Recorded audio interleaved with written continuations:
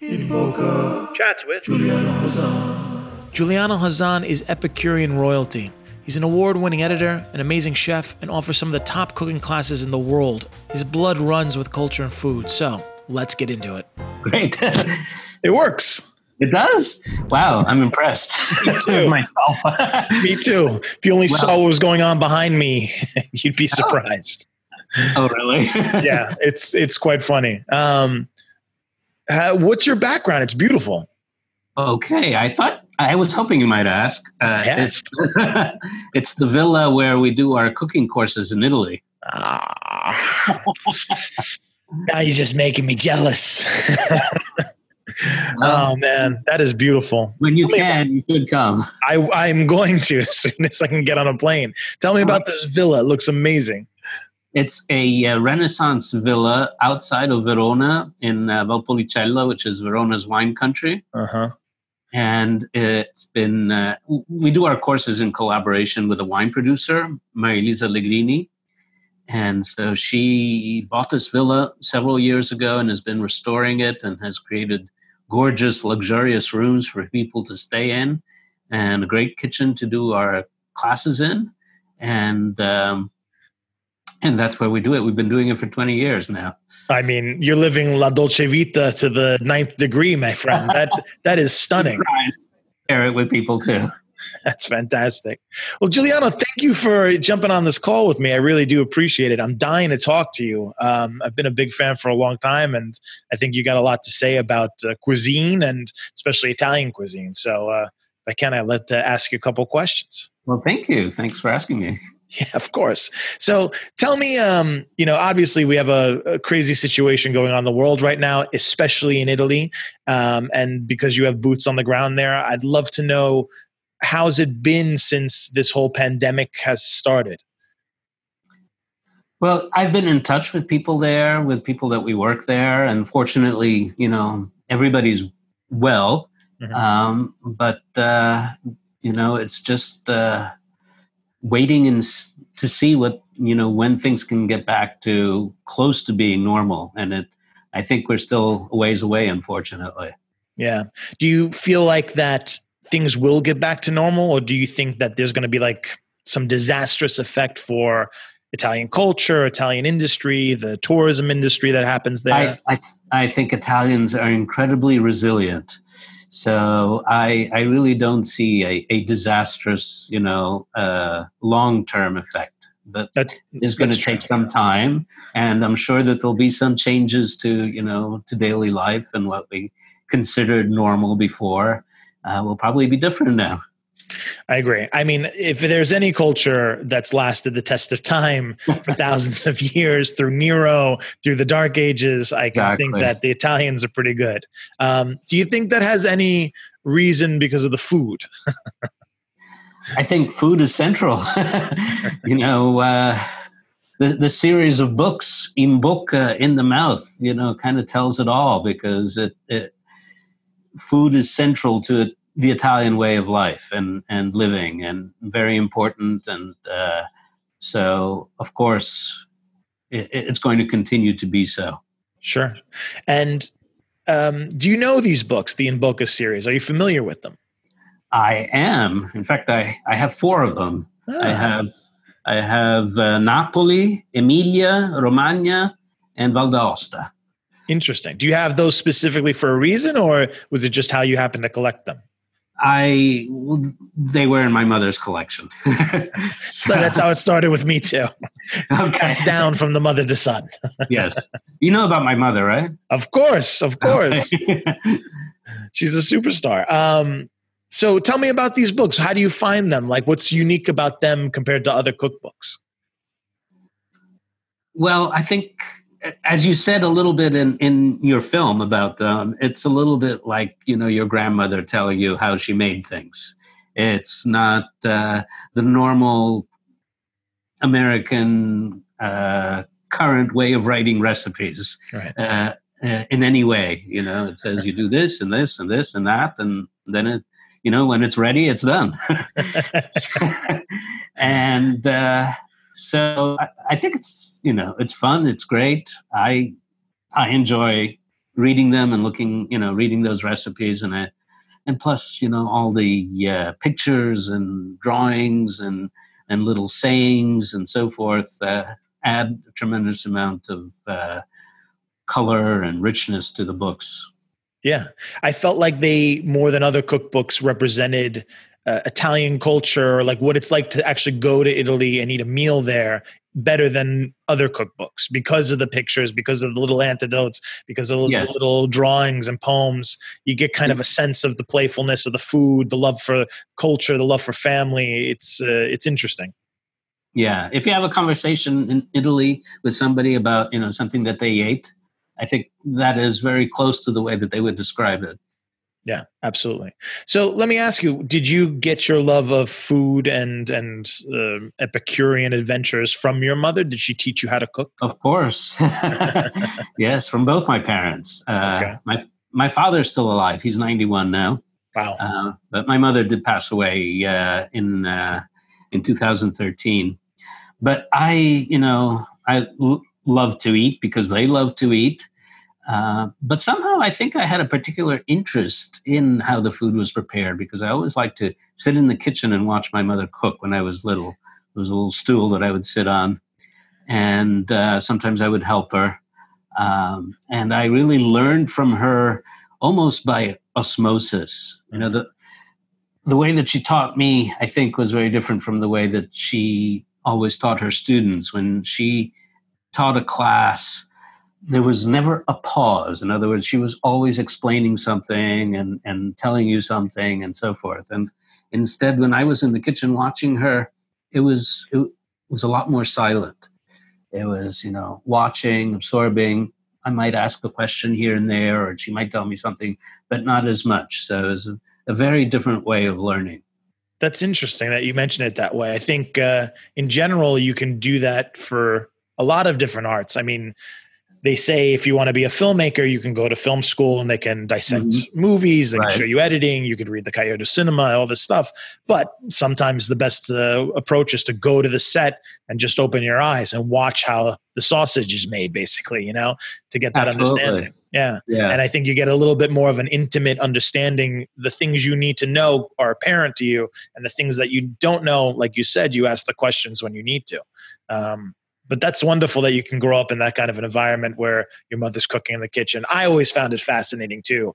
Um, my mother also very fluid in the kitchen. There's never a moment of pause. It's like a stream of uh-huh. consciousness, like Jack Kerouac, but uh, a cook. And uh, my father even you know, who cooks, but not as much as my mother. But uh, I used to be fascinated by the mocha and him making the coffee. Even those mm-hmm. like little things that that pass down from generation to generation. You know, they're done so many times that there becomes like a ritual to them, a religion almost. So yeah. it's interesting. Um, how did you end up where you are right now? Like, how would you say that you've placed yourself career wise uh, where you are right now? Well, I uh, I started out uh, being interested in theater. Once I left college, I went to theater school, did a two year program of uh, professional theater school, but realized that pretty soon that I wasn't going to be uh, uh, be able to earn a living doing that. So, uh, you know, my mother started her school in Italy in Bologna when I was seventeen, mm. and I was involved with that from the very beginning uh, in the summers when I wasn't in school, helping out uh, both with the classes and the trips that we did. So I, I started learning a bit about what it's like to, to teach cooking and so forth. And so I decided, oh, let me let me try that. And I started doing some classes and found that I really enjoyed it tremendously and, and, right. and, loved it. And so little by little, it became more and more of what I did until it was everything I did. That's fantastic. It found you in a way, I guess. Yes, which is great. Absolutely. Yeah. That's wild. Mm-hmm. So let me ask you, um, as someone that works closely with food and and knows it very well, uh, and having seen our film, what did you think about two people that aren't chefs cooking? because there are so many chef shows and usually they're held uh, heralded by uh, amazing chefs like what uh, what was your takeaway with two jabronis let's just say from brooklyn cooking a meal Well, first of all, I should tell you that my mother never liked being called a chef. She said she was not a chef. A chef was somebody who managed the restaurant kitchen. She was a cook. And to me, you guys were cooks, uh, you know, in full sense of the word. From, you know, going to look for the, the ingredients and searching the best ingredients that you could for the dishes that you were going to make to coming back to the kitchen and, and preparing them with love and passion and, and then enjoying them afterwards. So maybe the most important part. exactly. I think uh, I think you you were not any less than you know what you might consider a chef. Well, I appreciate that. That's high praise coming from you. Really, that's, that's, I'm going to use that on my website if that's okay. I'm going to quote you. Absolutely. and by the um, way, I, I, have to tell you that I loved watching the the cooking part of the film that you did. I, uh, you know, it really made me made my mouth water and made me want to eat it and, and cook it. It was it was beautifully done.